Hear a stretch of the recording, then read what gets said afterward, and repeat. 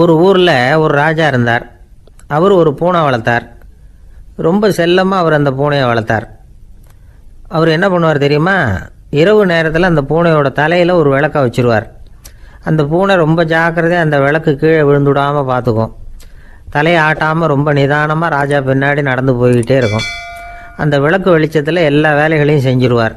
கையில் ஒரு விளக்கை தனியாக எடுத்துகிட்டு போக வேண்டிய அவசியமே இல்லை. விளக்கை தூக்கிட்டு போகிற வேலையை அந்த பூனை பார்த்துக்கும்.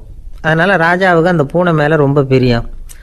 மந்திரிகளையெல்லாம் கூப்பிட்டு அவங்கக்கிட்ட சொல்லுவார் பார்த்தீங்களா இந்த பூனை எவ்வளவு விசுவாசமாக நடக்குது? என் பேரில் எவ்வளவு மரியாதை பார்த்தீங்களா அதுக்கு? அப்படிம்பார். இதை கேட்டுவிட்டு அங்கேருந்து அமைச்சர்களில் ஒருத்தர் சொன்னார் மன்னா நீங்கள் சொல்கிறது சரிதான். இருந்தாலும் இந்த பூனையோட விசுவாசத்தை நாம் கொஞ்சம் சோதித்து பார்க்க வேண்டியிருக்கு. அப்படின்னாராம். சரி உங்கள் ஆசையை ஏன் கெடுக்கணும்? நல்லா சோதித்து பாருங்கள் அப்படின்னு சொல்லிவிட்டார் ராஜா. உடனே அந்த அமைச்சர் என்ன பண்ணார் தெரியுமா? எங்கேயோ புறப்பட்டு போனார். ஒரு அஞ்சாறு எலிகளை பிடிச்சிட்டு வந்தார். அரண்மனையில் ராஜா ஏதோ வேலை பார்த்துக்கிட்டு இருக்கிறாரு. பக்கத்தில் அந்த பூனை ரொம்ப பணிவாக நின்றுக்கிட்டு இருக்குது. அது தலையில் விளக்கு எரிஞ்சிக்கிட்டு இருக்கு. அமைச்சர் தான் பிடிச்சிட்டு வந்த எலிகளை அந்த பூனை பார்வையில் படுறது மாதிரி எதிரில் விட்டார். அந்த எலிகள்லாம் அங்கேயும் இங்கேயும் ஓட ஆரம்பிச்சுது. அதை பார்த்தது பூனை. அவ்வளவுதான். தலையில் இருக்கிற விளக்கை பற்றியும் கவலைப்படலை. ராஜாவை பற்றியும் கவலைப்படல. ஒரே பாய்ச்சலாக பாஞ்சு எலிகளை துரத்த ஆரம்பிச்சுட்டுது. தலையில் இருந்த விளக்கு எங்கேயோ போய் விழுந்தது அணைஞ்சு போச்சு. இருட்டில் ராஜா தடுமாற ஆரம்பிச்சுட்டார். இந்த சமயத்தில் அந்த அமைச்சர் மறுபடியும் விளக்கை ஏற்றினார் வெளிச்சம் வந்தது. அதுக்கப்புறம் அந்த அமைச்சர் பேசினார் அரசே பூனையோட விசுவாசத்தை பார்த்தீங்களா எலி அது கண்ணில் படுற வரைக்கும் தான் விசுவாசமாக இருந்தது. அது மாதிரி எலியை பார்த்ததும் எல்லாத்தையும் விட்டுட்டு அதை துரத்த ஆரம்பிச்சுட்டுது பார்த்தீங்களா தான் வந்து அந்த பூனையை பற்றி நினச்சது தப்புங்கிறது அதுக்கப்புறம் தான் அந்த ராஜாவுக்கு புரிஞ்சுதான். சரி இப்போ எதுக்கு இந்த கதையெல்லாம் அப்படிங்கிறீங்களா? இந்த பூனை மாதிரி தான் நம்ம மனசும். மனசை வந்து எவ்வளவு தான் பயிற்சி கொடுத்து பக்குவமாக வச்சுருந்தாலும் பார்க்குறதுக்கு பரம சாது மாதிரி தான் இருக்கும். பார்க்க வேண்டியதை பார்த்துட்டுதுன்னா பாஞ்சிரும் இந்த பூனை மாதிரி. புலன் இன்பப் பொருள்கள் கிட்டாத வரைக்கும் மனம் அடங்கி இருக்கிறது மாதிரி தான் தெரியும்.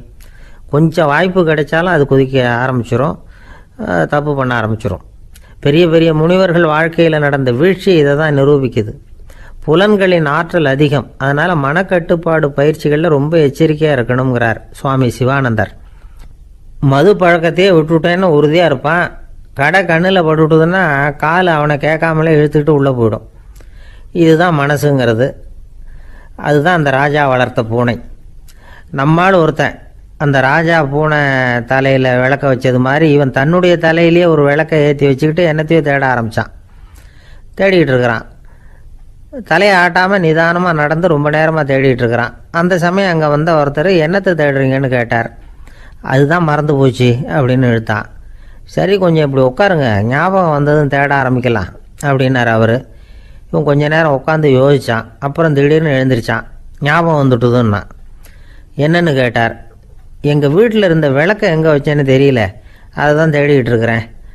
ஏற்றி வைக்கலாம்னு பார்க்குறேன் அப்படின்னா. வாழ்க்கையில் சில சந்தர்ப்பங்களில் நாம் வந்து சில அவமானங்களை சந்திச்சே தீர வேண்டியிருக்கு. என்ன பண்ணுறது காலம் அப்படி. அவமானப்படுறவங்க உடனே அடங்கி போயிடுறது தான் உலக வழக்கம். அவமானப்பட்டால் உடனே சீறி எழுறவங்களும் உண்டு. ஆனால் அதையே ஒரு சவாலாக எடுத்துக்கிட்டு முன்னுக்கு வர்றவங்களும் சில பேர் இருக்கிறாங்க. அவங்க ரொம்ப அபூர்வம். இன்றைக்கி மனோதத்துவ நிபுணர்கள்லாம் என்ன சொல்கிறாங்க தெரியுமா? அவமானப்பட்டுட்டா உடனே அடங்கி போயிடக்கூடாதான். அதையே ஒரு சவாலாக எடுத்துக்கிட்டு மனசில் ஒரு வைராக்கியத்தோடு முயற்சி பண்ணினா வாழ்க்கையில் எல்லாரும் முன்னேறலாமா?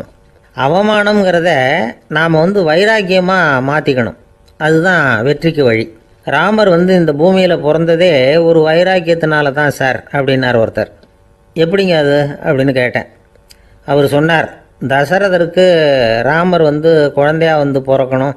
அப்போ தான் இங்கே இருக்கிற கஷ்டங்கள்லாம் நீங்கும் அப்படின்னு சர்வ லோகமும் எதிர்பார்த்துக்கிட்டு இருக்குது. ஆனால் அவர் எப்போ வந்து பிறப்பார் அப்படின்னு யாருக்கும் தெரியல. அந்த காரியம் சீக்கிரம் நடக்கணுமே. அதுக்கு என்ன பண்ணுறது நாரதர் வந்தார் ஒரு நாள் தசரதரை தேடி. தசரதா உனக்கு ஒரு செய்தி தெரியுமான்னு ஆரம்பித்தார் அவர் எப்பவும் இப்படித்தானே ஆரம்பிக்கிறது வழக்கம். என்ன விஷயம்னு கேட்டார் தசரதர். தசரதா நீ அடிக்கடி உன்னோட தேரில் ஏறிக்கிட்டு தேவலோகத்துக்கு போகிற அங்கே போகிற வர்ற எல்லாம் பண்ணிகிட்டு இருக்க எல்லாம் சரி. தேவலோகத்துலேயும் உன்னை நல்லபடியாக தான் வரவேற்கிறாங்க. தேவேந்திரன் உன்னை பிரியமாக அழைச்சிட்டு போய் தன்னுடைய அரியாசனத்திலேயே தனக்கு பக்கத்திலேயே உட்கார வைக்கிறான். நீயும் சந்தோஷமாக உட்காந்து பேசிவிட்டு வந்துடுற. ஆனால் நீ இங்கே வந்ததுக்கு அப்புறம் அங்கே என்ன நடக்குது தெரியுமா உனக்கு? அப்படின்னாரான் நாரதர். என்ன நடக்குது? எனக்கு ஒன்றும் தெரியலையே அப்படின்னாரான் தசரதர். நாரதர்கிட்ட வந்து கிட்டத்தில் வந்து கேட்டிருக்கார். கொஞ்சம் சொல்லுங்கள் என்னது அப்படின்னு. அவர் ஒரு நெருங்கி வந்தாராம் நாரதரும். மெதுவாக அவர் காதோட காதாக சொன்னாராம். அதாவது நம்ம பாஷையில் சொல்லப்போனால் பற்ற வைக்கிறார். நீ அங்கே தேவேந்திரங்கிட்ட உட்காந்து பேசிவிட்டு வந்த பிறகு நீ அங்கே உட்காந்துருந்த அரியாசனத்தை தண்ணி ஊற்றி கழுவி சுத்தப்படுத்துகிறாங்க நீ என்ன அந்த அளவுக்கு சுத்தம் இல்லாத ஆளா? தினம் குளிக்காமையாக இருக்கிற? அப்படின்னாராம். தசரதருக்கு இது ரொம்ப அவமானமாக போயிட்டுது. அப்படியே செய்கிறாங்க அப்படின்னாராம். ஆமாம் நீ வேணும்னா நான் சொல்கிறது உண்மையாக இல்லையா அப்படின்னு சோதனை பண்ணி பார்த்துக்கோ அப்படின்னாராம் நாரதர். உடனே தசரதர் இதுக்காகவே புறப்பட்டு தேவலோகம் போனார். அங்கே வழக்கம் போலவே இவரை கூப்பிட்டு உட்கார வச்சு பேசிக்கிட்டு இருந்தான் தேவேந்திரன். கொஞ்ச நேரம் க பேசிக்கிட்டு இருந்துட்டு சரி நான் கிளம்புறேன்னு புறப்பட்டார். சரி அவனும் வாசல் வரைக்கும் வந்து வழி அனுப்பி வச்சுட்டு உள்ளே போயிட்டான். தசரதர் வெளியில் கொஞ்ச நேரம் மறைஞ்சு இருந்துட்டு மெதுவாக உள்ளே எட்டி பார்த்தார் என்ன நடக்குதுன்னு. நாரதர் சொன்னது உண்மைதான். தசரதர் உட்காந்துருந்த ஆசனத்தை அங்கே ரெண்டு தேவர்கள் கழுவி சுத்தப்படுத்திக்கிட்டு இருக்கிறாங்க. தசரதரால் இதை தாங்கிக்க முடியல. அவருக்கு ரொம்ப அவமானமாக போச்சு. நேராக கிடுகிடுன்னு தேவேந்திரங்கிட்டே போனார். நான் உட்காந்துருந்த இருக்கையே சுத்தம் பண்ணுறியே நான் என்ன அந்த அளவுக்கு பாவியா? அப்படின்னு கேட்டார். ரொம்ப கோபமாக கேட்டார். தசரதரே மனுஷனுக்கு மூன்று கடன்கள் உண்டு.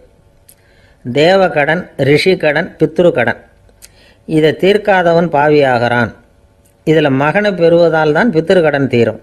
உனக்கு மகன் கிடையாது. அதனால் நீ பாவியாகிற. பாவி உட்கார்ந்துருந்த இடம்ங்கிறதுனால அதை சுத்தம் செய்ய வேண்டியது எங்கள் கடமை. அப்படின்னு நானும் தேவேந்திரன். இந்த இடத்துல தசரதருக்கு ஏற்பட்ட அவமானம் ஒரு வைராக்கியமாக மாறிச்சு. தேவேந்திரனே கேட்டுக்கோ. ஒரு மகனை பெற்ற பிறகு தான் இந்த சபையில் மறுபடியும் அடி எடுத்து வைப்பேன் அப்படின்னு சொல்லிவிட்டு போயிட்டாராம். போய் புத்திர காமேஷ் யாகம் பண்ணார் புத்திரர்கள் பிறந்தார்கள். இந்த கதையில் உள்ள கருத்து என்னென்னா தேவேந்திரன் தசரதரை அப்படி அவமானப்படுத்தலைன்னா அவருக்கு இப்படி ஒரு வைராக்கியம் பிறந்திருக்குமா? யோசிச்சு பார்க்கணும். நமக்கு ஏற்படுகிற சில அவமானங்களையும் வைராக்கியமாக மாற்றிக்குவோம் அப்படி மாற்றிக்கிட்டோம்னா வாழ்க்கையில் வந்து முன்னேறலாம். நம்ம ஆளுங்க சில பேர் அவமானத்தை வந்து வைராக்கியமாக மாற்றிக்கிறது எப்படி தெரியுமா? நம்மக்கிட்ட ஒரு பையன் சொன்னான் எங்கள் அப்பா என்னை எல்லாருக்கும் முன்னாடி வச்சு திட்டுவிட்டார். பொறுப்பு இல்லாமல் ஊர் சுற்றுறேன்னு சொல்லி அவமானப்படுத்தி விட்டார். இனிமேல் நீ என் முகத்திலேயே முழிக்காதரா போடான்னு வேற சொல்லிவிட்டார். எனக்கு ரோஷம் வந்துட்டுது. அந்த அவமானத்தை வைராக்கியமாக மாற்றிக்கிட்டேன் அன்னையிலேருந்து அவர் முகத்திலேயே முழிக்கிறது இல்லை அப்படின்னா. அப்படியான்னு கேட்டோம். ஆமாங்க. அவர் வீட்டில் இல்லாத நேரமாக பார்த்து உள்ளே சமையல் கட்டுக்கு போய் சாப்பிட்டுட்டு நைஸாக வெளியில் வந்துடுவேன் அப்படிங்கிறான் அவன். ஒரு கடைக்கு போனேன். அஞ்சு ரூபா பணத்தை எடுத்து கொடுத்தேன். ஒரு தினசரி பத்திரிக்கையை கேட்டேன். அவர் உடனே அங்கே அடுக்கி வச்சுருந்த பத்திரிக்கையில் ஒன்று எடுத்து என் கையில் கொடுத்தார். வாங்கிக்கிட்டேன். மீதி பணத்தை எடுத்தார். அதையும் என் கையில் கொடுக்கணும்ல? கொடுக்கல. எதிரில் இருந்த பலகையில் வச்சு எடுத்துக்க சொன்னார். எப்பவும் அவர் அப்படி தான் பண்ணுவார். நானும் எடுத்துக்கிட்டு வந்துடுவேன் இவர் ஏன் இப்படி பண்ணுறாருங்கிறது எனக்கு ரொம்ப நாளாக ஒரு சந்தேகம். ஒரு நாள் அவர்கிட்டயே இதை கேட்டுவிட்டேன். ஏங்க நீங்கள் உங்கள் கடைக்கு வந்து பொருள்கள் வாங்குறவங்களுக்கு நீங்கள் பாக்கி சில்லறையை கொடுக்குறப்போ பலகையில் வச்சு விட்றீங்க. கையில் கொடுக்க மாட்டேங்கிறீங்களே. ஏன் அப்படின்னு கேட்டேன். காசை கையில் கொடுத்தா நம்மக்கிட்ட இருக்கிற லட்சுமி போயிடுவா சார் அப்படின்னார். அதாவது பணம் செலவாயிடும் அப்படின்னு அர்த்தமா? இன்னொரு நண்பர் அவர் ஒரு நாள் வழக்கத்துக்கு மாறாக ரொம்ப சோகமாக உட்காந்துருக்கிறார் ஏங்க என்னாச்சு? ஏன் இப்படி கப்பலே கவிழ்ந்தது மாதிரி உட்காந்துருக்குறீங்க அப்படின்னு கேட்டேன். கப்பலே கவிழ்ந்திருந்தா கூட நான் இப்படி கவலைப்பட மாட்டேன் சார். வேற ஒன்று நடந்து போச்சுன்னார். என்னன்னு கேட்டேன். என் உச்சந்தலையில் பள்ளி ஒன்று விழுந்துட்டுதுன்னார். அதுக்காகவா இப்படி? அப்படின்னு ஆச்சரியப்பட்டேன். ஆமாங்க பள்ளி உச்சந்தலையில் விழுந்தால் பலன் என்னன்னு பஞ்சாங்கத்தில் பார்த்தேன். மரணம்னு போட்டிருக்கு அப்படின்னு சொல்லிவிட்டு அவர் தொடர்ந்து கவலைப்பட ஆரம்பிச்சிட்டார். இப்படியும் ஒருத்தர். என் கூட வேலை பார்க்குற ஒருத்தர் எப்படி தெரியுமா? தினமும் வலது காலை வச்சு தான் ஆஃபீஸுக்கு உள்ளே நுழைவார். என்னைக்காவது தவறுதலாக இடது காலை வச்சு உள்ளே வந்துட்டார்னா அன்னைக்கு பூரா மனசு சங்கடப்படுவார். எந்த வேலையும் சரியாக ஓடாது. கேரம் போர்டு ஆடுற ஒருத்தர் எப்போ ஆட உட்காந்தாலும் ஸ்ட்ரைக்கரை கை தவறி கீழே விழுற மாதிரி பண்ணி அதுக்கப்புறம் அதை எடுத்துக்கிட்டு ஆட உட்காருவார் ஏன்னா எப்போவும் ஒரு தடவை நிஜமாகவே அது வந்து கை தவறி கீழே விழுந்திருக்குது. அன்னைக்கு பிரமாதமாக ஜெயிச்சுட்டார். உடனே ஒரு முடிவுக்கு வந்துட்டார். கை தவறுனா லாபம் அப்படின்னு. அதுக்கப்புறம் அதையே பழக்கமாக்கிக்கிட்டார். பூனை குறுக்க போனால் சகனம் சரியில்லைன்னு நினைக்கிறவங்க உண்டு. ஆனால் ஒருத்தர் எப்படி தெரியுமா? அவர் வெளியில் கிளம்புற சமயம் பக்கத்து வீட்டு ரேடியோவில் மியாவ் மியாவ் பூனை குட்டின்னு பாட்டு சத்தம் கேட்டால் கூட போதும். சகனம் சரியில்லைன்னு பிரயாணத்தை கேன்சல் பண்ணிவிடுவார் இப்போ இவ்வளவும் எதுக்கு சொல்கிறோம்னா அளவுக்கு மீறின சகுன நம்பிக்கைகள் இருக்குது பாருங்கள் இதோட பயமும் சேர்ந்துக்கிட்டதுன்னு வச்சுக்கோங்க. இது ஒருத்தருடைய மனநிலையை பாதிச்சிடும் இது வந்து உளவியல் நிபுணர்கள் சொல்கிற கருத்து. வாழ்க்கையே தடுமாற வச்சிரும். பாதுகாப்பு இல்லாத உணர்வு ஒரு விதமான டிப்ரெஷன் மனநிலை இதெல்லாம் தான் இதுக்கு காரணமாக அமையலாம். சில பேர் காய்கறி நறுக்க கத்தியை கையில் எடுத்தால் கூட நேரம் சரியாக இருக்கா? அப்படின்னு பார்த்துட்டு தான் வேலையை ஆரம்பிக்கிறது வழக்கம். அறிவு தான் மனசுக்கு வாத்தியாராக இருக்கணும். அப்போ தான் வாழ்க்கை வந்து நிம்மதியாக இருக்கும். அறிவு வந்து மனசு சொல்கிறபடியெல்லாம் கேட்க ஆரம்பிச்சுட்டுதுன்னா இடைஞ்சல் தான். ஒருத்தருக்கு ஏழாம் நம்பர் தான் ராசியான நம்பராக ஏழாம் தேதி தான் எந்த காரியத்தையும் ஆரம்பிப்பாராம். ஏழு எழுத்து வர்றது மாதிரி பேரை மாற்றி வச்சுக்கிட்டார். ஏழு மணிக்கு தான் தினமும் எழுந்திருப்பார். ஏழாம் நம்பர் வீட்டில் தான் குடியிருக்கார். கல்யாணம் கூட ஏழாம் தேதி தான் பண்ணிக்கிட்டார். அவர் ஒரு நாள் குதிரை பந்தயத்துக்கு போனாராம். குதிரையோட பேரையெல்லாம் பார்த்தார். ஒரு குதிரையோட பேர் ஏழு எழுத்தில் அமைஞ்சிருந்தது. ஏழு தானே இவருக்கு அதிர்ஷ்ட நம்பர். அதனால் உடனே அது பேரில் பணத்தை கட்டினார். பந்தயம் நடந்தது.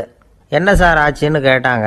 நான் பணம் கட்டின அந்த என்னோட குதிரை ஏழாவதாக வந்து சேர்ந்தது சார் அப்படின்னாராம் சோகமாக ஒரு பெரியவர் உட்காந்துருக்கிறார் அவரை சுற்றி அவருடைய தோழர்கள் உட்காந்துருக்கிறாங்க ஏதோ ஒரு முக்கியமான செய்தியை அவர் வந்து அவங்களுக்கு சொல்லிகிட்டு இருக்கிறார். அவங்களும் ஆர்வமாக கேட்டுக்கிட்டு இருக்கிறாங்க. இந்த சமயத்தில் யாரோ ஒரு ஆள் வேகமாக அங்கே வர்றார். வர்ற வேகத்திலேயே எனக்கு ஏதாவது உதவி செய்யுங்க அப்படின்னு கேட்டுக்கிட்டே வர்றார். கேட்கறது உதவி ஆனால் குரல் வந்து மிரட்டுறது மாதிரி இருக்குது அதட்டி கேட்குறது மாதிரி இருக்குது இதை கேட்டதும் அந்த பெரியவர் ஆத்திரப்படலை. ஆனால் அவரை சுற்றி இருந்தவங்க ஆத்திரப்பட்டாங்க. இதை பெரியவர் கவனிச்சார். கொஞ்சம் அமைதியாக இருங்கன்னார். வந்தவரை கூப்பிட்டார். அவருக்கு சில பொருள்களை கொடுத்தார். என்னங்க இப்போ உங்களுக்கு மகிழ்ச்சி தானே? அப்படின்னார். ஆ ஆ அப்படின்னு அலட்சியமாக அவர் சொல்கிறார் நான் உங்களை நல்ல முறையில் நடத்தினேன்னா அப்படின்னு கேட்குறாரு அவர் மறுபடியும். அதெல்லாம் ஒன்றும் இல்லை அப்படின்னு சொல்லி அவர் சொல்லிகிட்டு இருக்கிறாரு குரலில் வந்து கடுமை குறையில. சுற்றி இருந்தவங்களால இதை பொறுத்துக்க முடியல. கோபத்தோடு அவரை நோக்கி நெருங்க ஆரம்பித்தாங்க பெரியவர் அவங்களையெல்லாம் தடுத்து நிறுத்தினார். வந்தவரை வாங்க என்னோட அப்படின்னு சொல்லி அழைச்சிட்டு போனார் வீட்டுக்கு போனார். அங்கே போனதும் இன்னும் சில பொருள்களை எடுத்து அவர்கிட்ட கொடுத்தார். இப்போ திருப்தி தானே? நான் உங்ககிட்ட நல்ல முறையில் நடந்துக்கிட்டேனா? அப்படின்னார். அவர் முகம் இப்போ தான் கொஞ்சம் மலர்ந்தது. ரொம்ப நன்றி. இறைவன் வந்து உங்கள் குடும்பத்துக்கு எல்லா நன்மைகளையும் செய்வான். அப்படின்னு சொன்னார். இதே வார்த்தைகளை என்னுடைய தோழர்கள்கிட்டே வந்து சொல்லிட்டீங்கன்னா அவங்க கோபம் தணிஞ்சிரும். வர முடியுமான்னார். கண்டிப்பாக வர்றேன் அப்படின்னாரு. மறுநாள் காலையில் அந்த இடத்துக்கு வந்தார். அதே மாதிரி சொல்லிவிட்டு அவர் போயிட்டார். தோழர்கள்லாம் ரொம்ப வியப்போடு பெரியவரை பார்த்தாங்க. அந்த பெரியவர் தான் நபிகள் நாயகம். அவர் சொன்னார் ஒருத்தன் ரொம்ப ஆசையாக ஒரு ஒட்டகத்தை வளர்த்துக்கிட்டு வந்தான். ஒரு நாள் அந்த ஒட்டகம் வந்து கயத்தை அறுத்துக்கிட்டு ஓடி போயிட்டுது. அக்கம் பக்கத்தில் இருக்கிறவங்கெல்லாம் அந்த ஒட்டகத்தை பிடிக்கிறதுக்கு முயற்சி பண்ணாங்க. அதை துரத்திக்கிட்டு ஓடினாங்க. ஒட்டகம் வந்து தாறுமாறாக ஓட ஆரம்பிச்சுது. இந்த சமயத்தில் ஒட்டகத்தை வளர்த்தவன் அங்கே ஓடி வந்தான். நீங்கள் அதை ஒன்றும் செய்ய வேணாம் விட்டுருங்க. அதோட சுபாவம் எனக்கு நல்லா தெரியும். அதை சுலபமாக என்னோடய வழிக்கு கொண்டுட்டு வந்துட முடியும். நான் பார்த்துக்கிறேன் விட்டுருங்க அப்படின்னா. எல்லோரும் விலைக்கு போயிட்டாங்க. இவன் என்ன செஞ்சான் தெரியுமா? கொஞ்சம் புல்லை கையில் எடுத்துக்கிட்டு அந்த ஒட்டகத்தை நெருங்கினான். அவ்வளவுதான். அது ஓடி வந்து இவன் காலடியில் உட்காந்துக்கிட்டது செல்லமாக அதை அப்படியே தடவி கொடுத்தான். முதுகில் ஏறி உட்காந்துக்கிட்டான் அது பாட்டுக்கு சாதுவாக நடந்து போகுது. இந்த கதையை நபிகள் நாயகம் தம்முடைய தோழர்களுக்கு சொல்கிறார் ஒட்டகத்தை மட்டும் இல்லை சில மனிதர்களையும் கூட சில விதத்தில் அணுகி தான் அவர்களை வந்து சீர்திருத்த வேண்டியிருக்குது அப்படிங்கிறத அவங்களுக்கு உணர்த்தினார். இது ஒரு அழகான உளவியல் அணுகுமுறை. சில குடும்ப தலைவர்கள் கூட இந்த ஒட்டகம் மாதிரி நடந்துக்கிறது உண்டு. அப்புறம் அடங்கி போகிறதும் உண்டு. ஒரு குடும்ப தலைவர் காலையில் எழுந்திரிச்சதுலேருந்து சத்தம் போட்டு கத்திக்கிட்டு இருப்பார். பக்கத்தில் இருந்தவெல்லாம் ஓடி போய் சமாதானம் பண்ணி பார்த்தாங்க. அவர் ஓயறது மாதிரி தெரியல. கடைசியில் அவர் மனைவி வந்தாங்க. நீங்கள் எல்லாம் விலகி போயிடுங்க. அவர் சுபாவம் எனக்கு தெரியும். நான் பார்த்துக்கிறேன் அப்படின்னாங்க. சரின்னு எல்லோரும் போயிட்டாங்க. சாயந்தரமாக வந்து பார்க்குறாங்க அவர் சத்தம் இல்லாமல் ஒரு மூலையில் உட்காந்துருக்கிறார் ரொம்ப சாதுவா. ஆச்சரியமாக இருந்தது. என்னம்மா பண்ணீங்கன்னு கேட்டாங்க. அது ஒன்றும் இல்லைங்க ஒரு வேளை சாப்பாட்டை நிறுத்தினேன் பட்னி போட்டேன் அவ்வளவுதான் அப்படின்னாங்க அந்த அம்மா. ஒரு ராஜா இருந்தார். நாடு பூராவும் நிறைய மரங்களை நட்டு வளர்க்கணுங்கிறது அவரோட ஆசை. தானே அதுக்கு முன்மாதிரியாக இருக்கணும்னு நினச்சார். அரண்மனையை சுற்றி மரங்களை நட்டு வளர்த்தார். இதை பார்த்துட்டு ஜனங்களும் அவங்கவுங்க வீட்டை சுற்றி மரக்கன்றுகளை நட்டு வளர்த்தாங்க. கொஞ்ச காலத்தில் ஊர் பூரா பசுமையாக மாறிச்சு. எல்லாருக்கும் சந்தோஷமாக இருந்தது. இது ஒரு பக்கம் இருக்கட்டும். இப்போ நான் சொல்ல போகிற கதை வேறு. அதாவது அந்த ராஜா ஒரு நாள் தன்னுடைய அரண்மனையை சுற்றி இருக்கிற வித விதமான மரங்களை எல்லாம் போய் பார்த்தார். எப்படி இருக்கிறீங்க? அப்படின்னு ஒவ்வொரு மரத்துக்கிட்டையும் விசாரிச்சாராம். எந்த மரமும் சந்தோஷமாக இருக்கிறதா தெரியல. அது அதுக்கும் மனசில் ஒரு குறை. முதல்ல ஆலமரத்துக்கிட்ட போனார். அது சொல்லிச்சு மண்ணா நான் நல்லா பெருசாக வளர்ந்துருக்கிறேன் அடர்த்தியாக இருக்கிறேன். கிளையெல்லாம் நாலு பக்கமும் நல்லா படர்ந்து தான் இருக்குது. இருந்தாலும் எந்த பிரயோஜனமும் இருக்கிறதா தெரியல எனக்கு. என்னுடைய பழம்லாம் ரொம்ப சின்னதாக இருக்குது. என் கண்ணுக்கு சரியாக புறப்பட மாட்டேங்குது. நான் இருக்கிற சைஸுக்கு என்னுடைய கிளையில் இருக்கிற பழம்லாம் எவ்வளோ பெருசாக இருக்கணும்? அது இத்தனூண்டு இருக்கிறது எனக்கு பெரிய அவமானமாக இருக்குது இப்படி இங்கே நின்றுக்கிட்டு இருக்கிறதே ரொம்ப கூச்சமாக இருக்குது ஒரு நல்ல புயல் வந்ததுன்னா பேசாமல் சாஞ்சு விடலாமான்னு பார்க்குறேன் அப்படின்னு புலம்புது ஆலமரம். சரி இருக்கட்டும்னு நினச்சிக்கிட்டு ராஜா அடுத்தபடியாக ஒரு அத்தி மரத்துக்கிட்ட போனார். அதுவும் புலம்ப ஆரம்பிச்சிட்டுது. நான் கூட பெரிய மரம் தான் இல்லை இலையெல்லாம் அழகாக தான் இருக்குது. பழம் அழகாக இருக்குது. இருந்தாலும் உள்ள விஷயம் இல்லையே.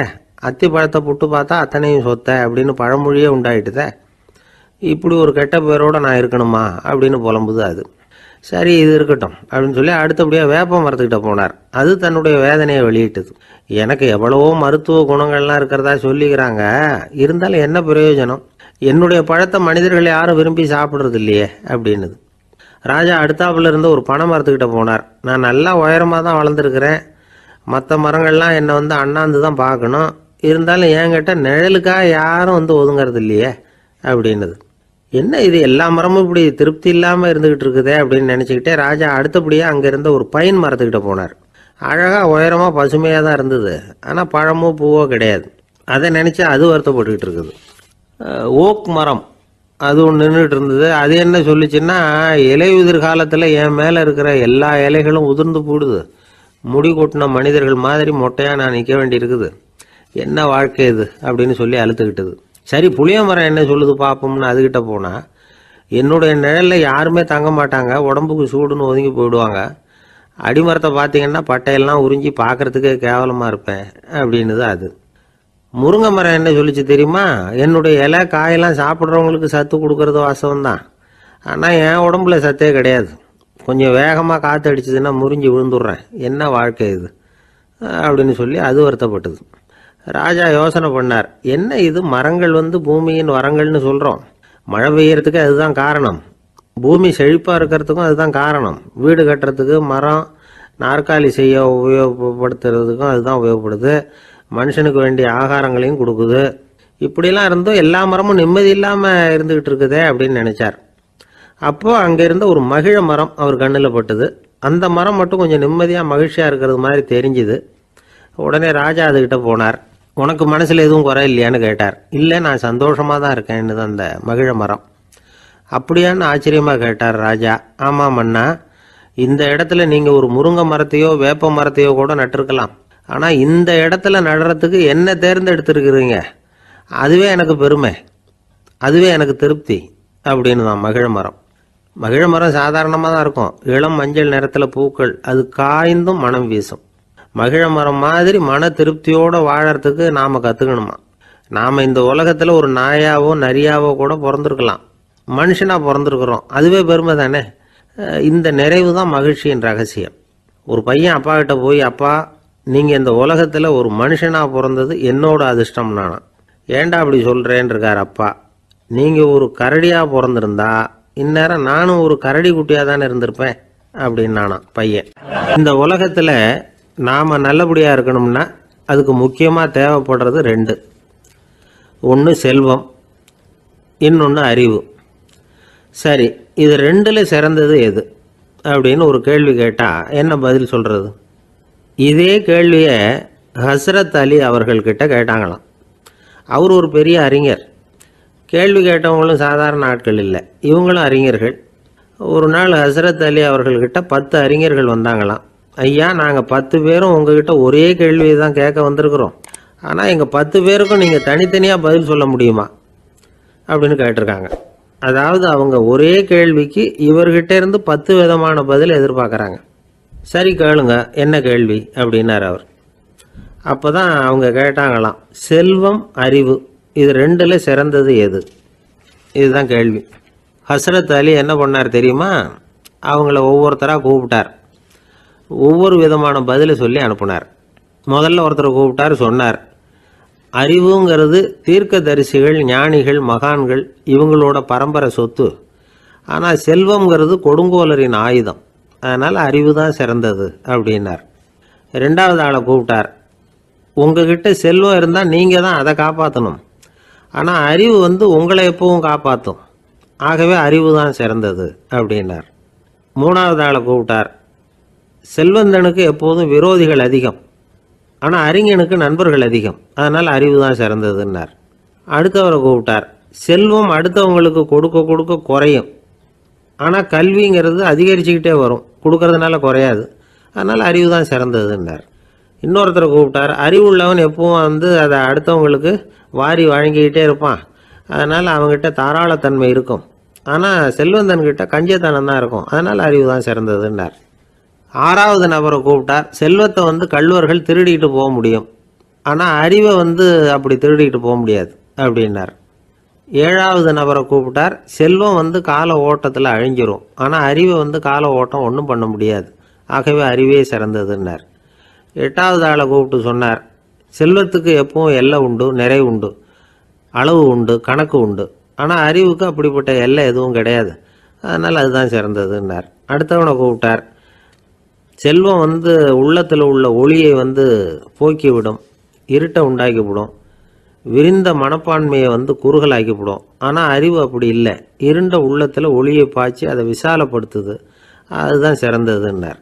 கடைசியாக பத்தாவது நபரை கூப்பிட்டார். செல்வம் வந்து மனசில் செருக்கை உண்டாக்குது ஆணவத்தை ஏற்படுத்துது. அதனால் நானே கடவுள்னு நினைக்கிற அளவுக்கு மனுஷனை வந்து தாழ்த்தி விடுது.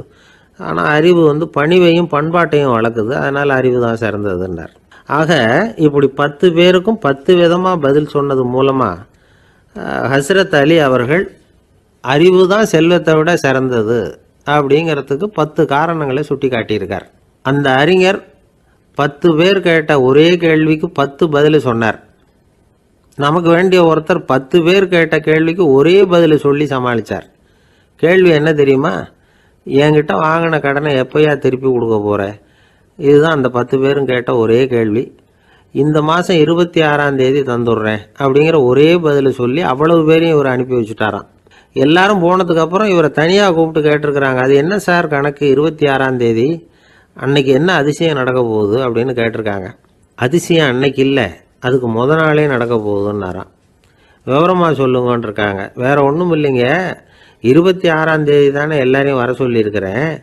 அதுக்கு முத நாளே நான் புறப்பட்டு தலைமறைவாயிட போகிறேன் அப்படின்னாராம் ரொம்ப பெருமையாக ஒரு விவசாயி விதைக்கிறதுக்காக வயல்வெளி பக்கம் போகிறார் விதைகளை அள்ளி வீசினார். அப்போ என்ன ஆச்சுன்னா சில விதைகள் வந்து பாதை ஓரத்தில் விழுந்தது.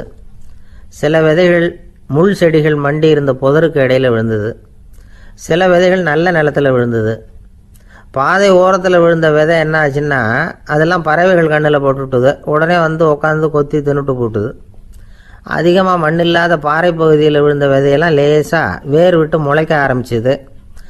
அதுக்கப்புறம் வேர் கீழேயும் ஆழமாக போக முடியல. மேலேயும் சூரிய வெப்பம் அதிகம் தாங்க முடியல. எல்லாம் காஞ்சி கருகி போட்டுது. புதர் பகுதியில் சில விதைகள் விழுந்தது இல்லையா? முள் செடிகள் காடாக மண்டி போயிருந்தது.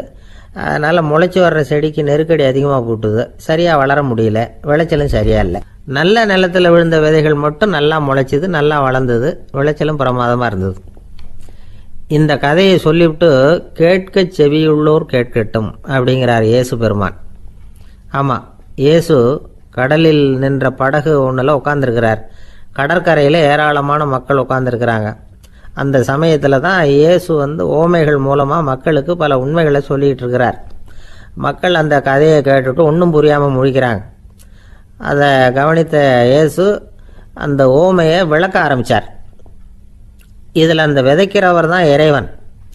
அவருடைய வார்த்தைகளை விதைக்கிறார். அந்த வார்த்தைகளை கேட்கிற மக்கள் அந்த விழுந்த விதைகள் மாதிரி நாலு வகையானவர்கள். சில பேர் பாதை ஓரத்தில் விழுந்த விதைகள் மாதிரி இறைவன் வார்த்தைகளை அவங்க கேட்குறாங்க ஆனால் தீய எண்ணங்கள் செய்கைகள் மூலமாக விதைக்கப்பட்ட வார்த்தைகள் அழிஞ்சு போடுது. இறைவன் வார்த்தைகளை கேட்ட உடனே மகிழ்ந்து போய் உடனே சில பேர் அதை ஏற்றுக்கிறாங்க இவங்கெல்லாம் அந்த பாறை பகுதியில் விழுந்த விதைகள் மாதிரி. அதனால் இவங்கெல்லாம் வேறு இல்லாதவங்க. கொஞ்ச காலத்துக்கு இறை வார்த்தைகளுக்கு கீழ்ப்படிந்து நடப்பாங்க. அதனால் ஏதாவது இடைஞ்சல் ஏற்பட்டால் உடனே தடுமாறுவாங்க. தங்கள்கிட்ட இருக்கிற நல்ல பண்புகளை விட்டுட்டு பாவ வழிகளுக்கு போயிடுவாங்க. முள் செடிகளுக்கு இடையில் விழுந்த விதைகள் மாதிரி உள்ளவங்க யாருன்னா இவங்களுக்கு உலக கவலை உண்டு. செல்வத்தின் மீது மயக்கம் உடையவர்கள். உலக ஆசைகள் இவங்களுக்குள்ளே பூந்துடுறதுனால அங்கே இருக்கிற நல்ல பண்புகள் வந்து மறைஞ்சு போயிடுது. அதனால் அவங்களும் உபயோகம் இல்லாதவங்களாக ஆயிடுறாங்க. நல்ல மனிதர்கள் நல்ல நிலத்தில் விழுந்த விதைகளுக்கு ஒப்பானவர்கள். இவங்க வந்து இறை வார்த்தையை கேட்குறாங்க அதை ஏற்றுக்கிறாங்க அவங்களும் நல்லபடியாக வாழ்கிறாங்க அடுத்தவங்களுக்கும் உபயோகமாக இருப்பாங்க. இதுதான் இயேசு சொன்ன விளக்கம். நல்ல வார்த்தைகளை கேளுங்கள் நல்ல வார்த்தைகளை ஏற்றுக்கொள்ளுங்கள். அடுத்தவங்களுக்கு உபயோகமாக இருங்க. இதுதான் பெரியவங்கள்லாம் நமக்கு சொல்லுகிற உபதேசம். ஒரு அப்பா தன்னுடைய மகனுக்கு உபதேசம் பண்ணார். இதை பாருப்பா நல்ல வார்த்தைகளை கேட்கணும். எப்போதுமே மகன் வந்து அப்பா பேச்சை கேட்குறது நல்லது அப்படின்னாராம். நீ ஏதாவது ஒரு தப்பு பண்ணால் என் தலையில் ஒரு முடி நரைச்சி வெள்ளையாக போடும்பா. நீ செய்கிற ஒவ்வொரு தப்புக்கும் என் தலையில் ஒவ்வொரு முடி வெள்ளையாயிடும் அப்படின்னாராம் பையன் யோசித்தான் அப்பா இப்போ தான் எனக்கு புரியுது. தாத்தாவோட தலைமுடி பூராவும் வெள்ளையாக இருக்கிறதுக்கு என்ன காரணம்ங்கிறது எனக்கு இப்போ தான் புரியுது அப்படின்னானா. ஜவஹர்லால் நேரு பிரதமராக இருந்த சமயம் அவர் ஒரு தடவை சென்னைக்கு வந்திருக்கிறார். இங்கே சில முக்கிய நிகழ்ச்சிகளில் கலந்துக்கிறதுக்காக வந்திருந்தார். ஆளுநர் மாளிகையில் ஒரு நாள் ராத்திரி தங்கி மறுநாள் புதுடெல்லி புறப்படுறதாக ஏற்பாடு. நிகழ்ச்சியிலெல்லாம் முடிச்சுக்கிட்டு ஆளுநர் மாளிகையில் தங்கியிருக்கிறார். அன்றைக்கு இரவு படிக்கிறதுக்கு ஒரு முக்கியமான புத்தகம் அவருக்கு தேவைப்பட்டது. அந்த சமயத்தில் உலக அளவில் ஒரு முக்கியமான பொருளாதாரம் சம்பந்தமான ஒரு புத்தகம் வெளியாகி இருக்கிற விஷயம் அவருக்கு தெரியும். அந்த புத்தகம் மெட்ராஸுக்கு வந்திருக்குமா? அது இங்கே கிடைக்குமா? அப்படின்னு விசாரிச்சிருக்கிறார் நேருஜி. அவர் இப்படி கேட்ட உடனே அங்கே இருந்தவங்கெல்லாம் ரொம்ப பரபரப்பாக செயல்பட ஆரம்பிச்சிட்டாங்க. முக்கியமான இடங்கள்ல எல்லாம் விசாரிச்சிருக்கிறாங்க. அந்த புத்தகம் உங்ககிட்ட இருக்கான்னு.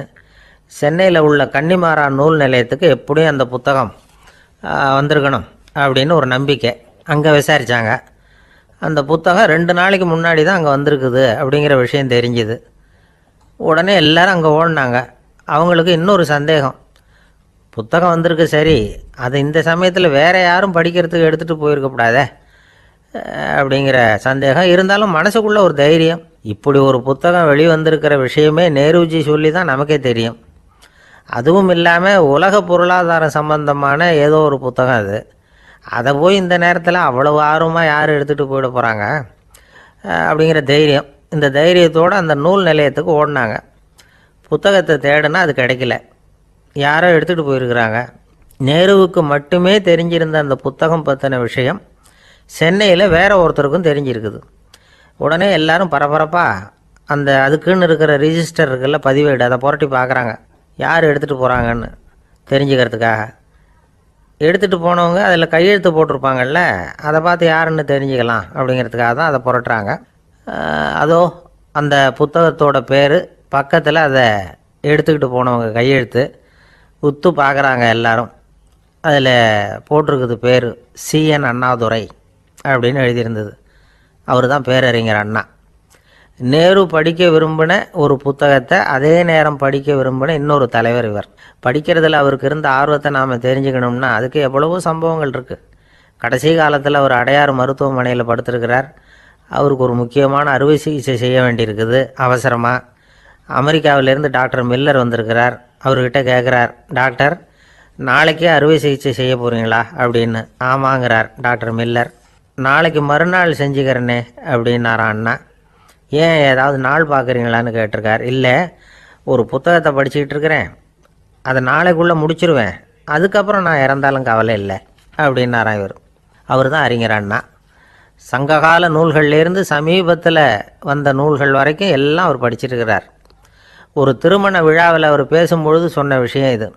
சங்க காலத்தில் காதலியை மணக்க விரும்புகிறவனுக்கு அவனுடைய தந்தை வீர சோதனைகள்லாம் வைப்பார். போய் புலிப்பல்லு கொண்டுக்கிட்டு வா அப்போ தான் என் பொண்ணை கொடுப்பேன் அப்படின்னு சொல்லுவார். காதலன் உடனே காட்டுக்கு போவான் ஒரு புலியை கொன்று அதனுடைய பல்லை கொண்டுகிட்டு வருவான். அதை வீர பதக்கத்தில் பதிச்சு அவனுக்கு மாமனார் சூட்டுவார் கல்யாண சமயத்தில். இப்போலாம் காதலன் கிட்ட அப்படி சொல்ல முடியாது. இப்போலாம் காதலன் கிட்ட காட்டுக்கு போய் புலிப்பல் கொண்டுக்கிட்டு வான்னு யாராவது சொன்னால் புலி தான் மாப்பிள்ளையாக வந்து சேரும் அப்படின்னார்.